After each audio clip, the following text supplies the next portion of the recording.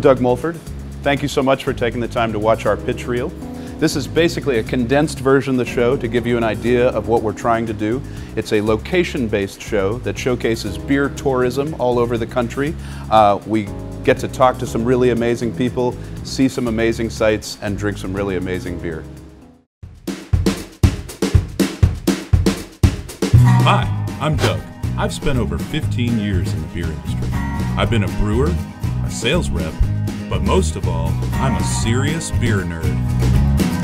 Beer is my passion, and I'm traveling all across this country to explore different beer cultures. And what better way to do that than hanging out with the people that make it, sell it, and drink it? Today we're in Charleston, South Carolina, the holy city. With beautiful beaches, stunning architecture, and historic charm, you can see why this town was voted the number one tourist destination in the country. The last decade has seen Charleston grow into a culinary destination. And recently, the breweries here are making this a hotbed for beer tourism. Delicious food and amazing beer? I'm all in. There's a number of different topics that we cover on Beer Run. First up, we went to Westbrook Brewing Company to talk about hype. In today's beer market, you're seeing more and more people line up for these limited release, you can't have this, get in line beers. Westbrook, people flock to from all over the world to wait in line for six or seven hours just to take home one bottle of this special beer. We put their liquid to the test to see if it was worth the hype.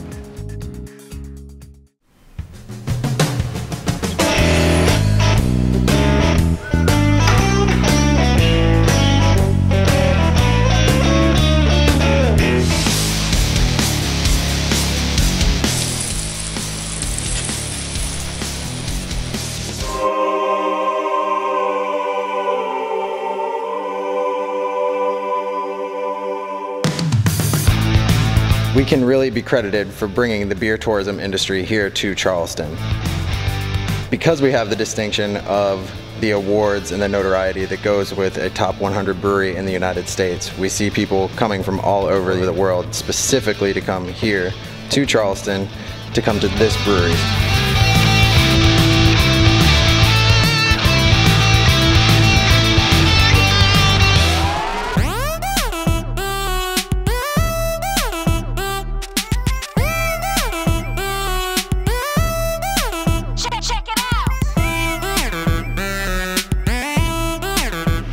Ask in a production brew house before you touch anything.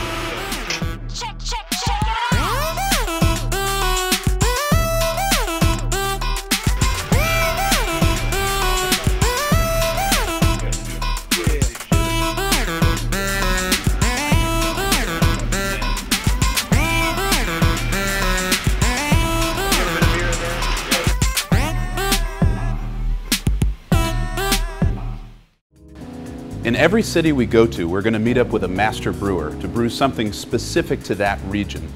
In our next segment, we go to Common House Ale Works to brew with Shane, master brewer extraordinaire, and drink some beers with Hank, owner of Common House Ale Works.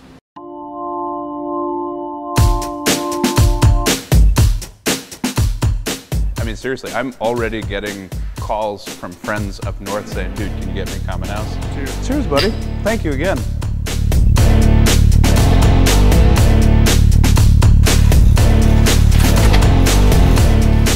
Uh, when we're talking about gravity in beer, we're looking at it as a density compared to water. Now, is this the Hoptopus or the Octohop? I tell people a lot of times that brewing is like alchemy. It's science and art. And we are literally taking grain and making it into liquid gold.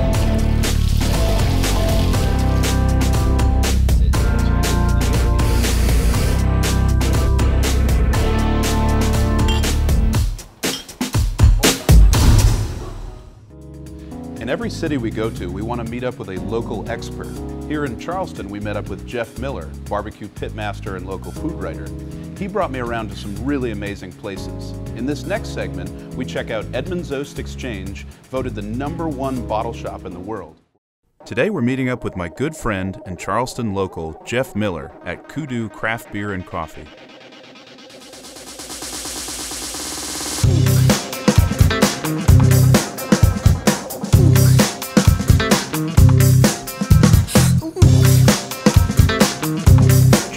Barbecue pitmaster, local food writer, and fellow beer nerd.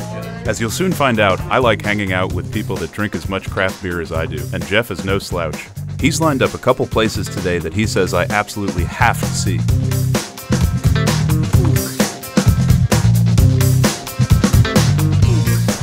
something I want to show you that I think you're really going to like. Yeah? Oh, yeah. Sweet, man. I'm excited. Edmund's Oast Exchange. Right. Uh, it's actually one of the best bottle shops in the world. Bottle shop? Bottle shop. I'll see you later.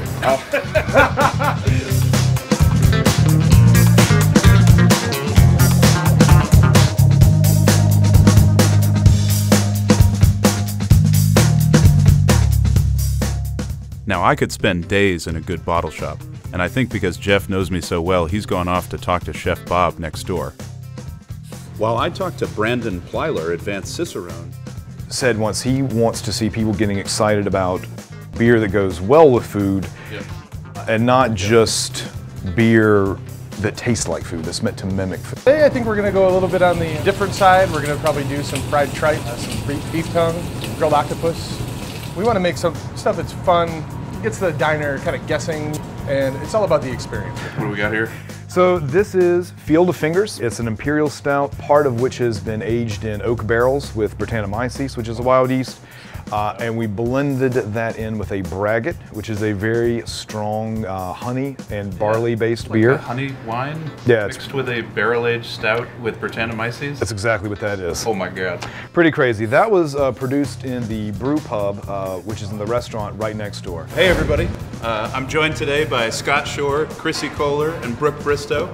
Um, Scott is the owner of Edmund's Oast. Scott, thank you so much for having us today. It's our pleasure. Thanks for being here. most Charlestonians would tell you that you have to try. You have to try shrimp and grits, and you got to get some she crab soup.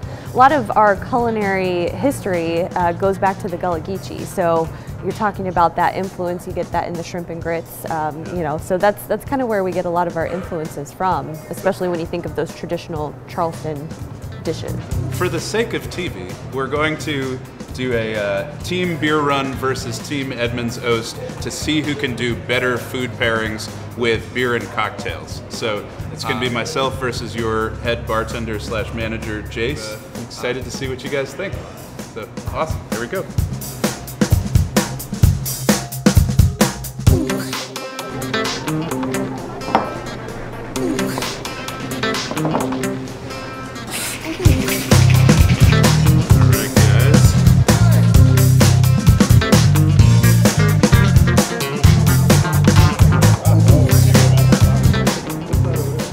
Really like how the hoppiness of the IPA sort of cuts through the fattiness and richness of the fried food. It scrubs the palate a little bit, gives a sort of cleaning, refreshing effect. It's, it's really nice. I would say with the cocktail, it actually really emphasizes flavor more. The sort of citrusy and herbaceous nature of the flavors of the cocktail really sort of bolster the overall profile of the, of the dish. I agree. I think the cocktail like picks up in some of that batter, some of the spice that's in that batter. Really kind of brings that pepperiness out a little bit more. I actually find all of them to be in harmony here. There's kind of a yin and yang between both of these, and then the elements of the dish. I mean, obviously the, you know, but as I drill down into the bottom of the dish and I get some of those more spicy, zingy flavors, I find that they kind of the the Asian ingredients in the cocktail go really well with that that spiciness at the bottom. So it all kind of just comes together for me together versus just an individual beer. I completely agree. I think what we're all unanimously saying is that to properly enjoy this dish, you need a beer and a cocktail together. Cheers to that. Now, this show isn't just about the nichey, neckbeard conversations that you have with the 1% of craft brewers. It's about all beer. And in this next segment, we celebrated PBR Week at the Recovery Room, number one Pabst Blue Ribbon account in the world.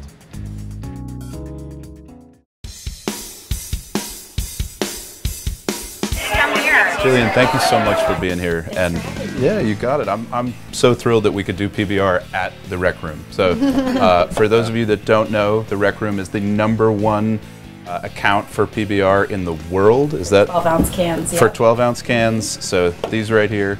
Um, where did the blue ribbon come from? So in 1893 at the Chicago World's Fair, uh, Pabst uh, beer won a uh, gold Won, medal. won the gold, so Yeah. hence the blue ribbon. Yeah, so part of their marketing strategy was to tie silk blue ribbons on the top of uh, bottles.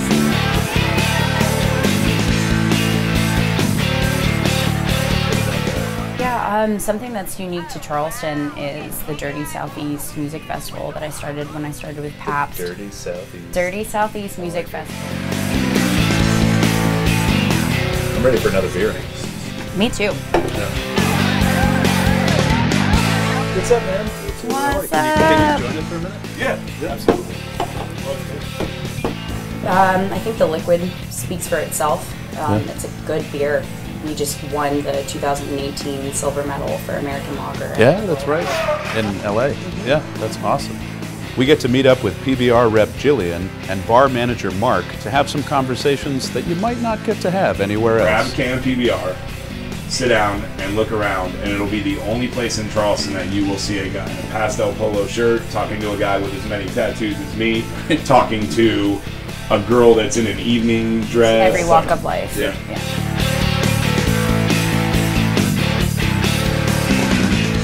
I'll tell you one of the things that I love about this place is you can walk in here uh, and buy the bar around and be a hero for 20 bucks. Oh yeah, you come, you come in for a happy hour and you're good to go. You can you can be that guy, and, and everyone has that dream of walking in. Yeah, like, "Ah, let's get the bar around. Yeah, yeah. all the way around, all the way around. This next clip is for a true beer aficionado. We go to Charles Towne Fermentory in what I like to think of as our Brewer's Corner segment. If you're a beer geek, it's sure to get your juices flowing.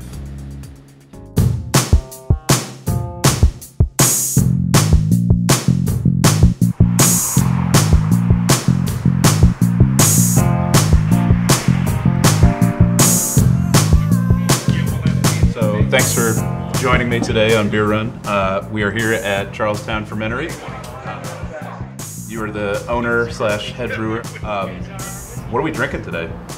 Well, today I'm drinking uh, our Mudlark Dry Stout, and you have our Covercraft IPA. Covercraft IPA. It looks like orange juice. Well, cheers, bud. Cheers. Did you add guava pineapple No, to this? no, Yeah. no, that's all hops. That's all from the hops. The the nose on this. I wish you guys at home could smell this because it's ridiculously tasty smelling. It, I want to live in a world where when you walk outside, the atmosphere smells like this beer does. And- well, a lot of people probably don't know this, but uh, you were the former brewer at Trillium, which is uh, in Massachusetts, in Boston, uh, a brewery that us beer nerds are has you know is mecca, right? I mean, it's one of the cool kids, awesome breweries. Putting out some really delicious stuff, and a lot of that is thanks to you. I mean, some of your recipe development and um, moved down here, started Charles Towne Fermentory. Uh, you guys just recently won best best new brewery in South Carolina. It's the great equalizer. It is. It'll, it'll put the CEO next to the janitor. Yes. And they'll and they'll have a conversation. Dude. Yeah. Um, you know, we definitely wanted. Uh, you know, we were focusing right off the right off the bat on having you know a uh, an on-premise, uh, I guess, environment. You know, something where people come in and have a have a couple pints, meet their neighbors after work. You know, so that's an important part of, of our of our model. Which yeah, I mean, it's a it's a it's an awesome community. I mean, between brewers is is, is great. Um, it's all that's all part of you know brewing different styles. That's I think part of why these uh, these types of IPAs are really appealing uh, is because they're approachable. Um, you know, and we have 99% of the time we're able to find a beer that we make for almost everyone. Sure. Um, and you know, at the end of the day, that's why we make beer. Well, I hope you've enjoyed this preliminary presentation of Beer Run. To view a full episode or to continue the conversation, please contact us by phone or email, and we look forward to hearing from you. Cheers.